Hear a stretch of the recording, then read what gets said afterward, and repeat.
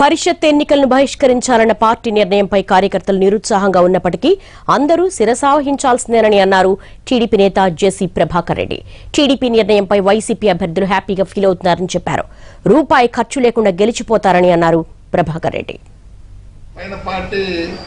నిర్ణయం ప్రెసిడెంట్ గారి నిర్ణయాన్ని మేము కూడా ఫాలో అవుతున్నాం. కానీ కార్యకర్తలు కొద్దిగా నిరుత్సాహం నాకు అది పరిస్థితి.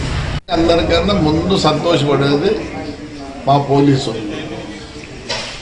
ఊరికి చెడ్డబడి తెచ్చుకుంటారు వన్ సైడ్ వన్ సైడ్ చేస్తారని. ఇంకా మనకు తెలుసు మన వాలంటీర్లు సెక్రటరీలు కూడా హ్యాపీగా ఫీల్ అవుతారు ఎందుకంటే వాలంటీర్లు ఇంటింటికి పోయి మీకు అది రాదు ఇది రాదు అది రాదు అని భయపడిచ్చి భయపడిచ్చి ఇన్ని రోజులు జరిగింది. అందుకని ఒక విధంగా వాళ్ళు హ్యాపీనే.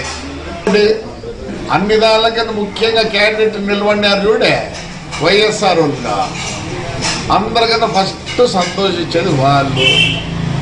రూపాయి ఖర్చు లేకుండా ఇంట్లో పనుకొని హాయిగా గెలిచిపోతారు.